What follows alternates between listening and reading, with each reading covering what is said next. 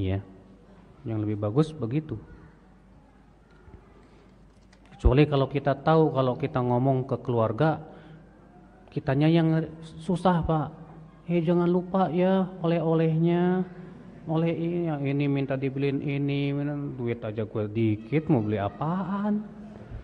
Ah udahlah nggak usah daripada minta-minta puyeng gue. Ya nggak masalah. Iya. Cuma perlu diberitahu ya akhi bahwa minta oleh-oleh itu termasuk minta-minta yang terlarang. Ya. Kita ini kan terkadang suka minta ditraktir, minta oleh-oleh sama orang yang pergi umroh. Kita nggak sadar kalau itu termasuk minta-minta. Nabi bersabda apa kepada Qabisoh ya Qabisoh innal mas'alah la tahillu illa li ahadi thalatha. Hai Qabisoh, minta-minta itu nggak halal kecuali untuk salah satu dari tiga orang saja. Yang pertama orang yang menanggung kerugian dari mendamaikan dua kabilah yang berperang.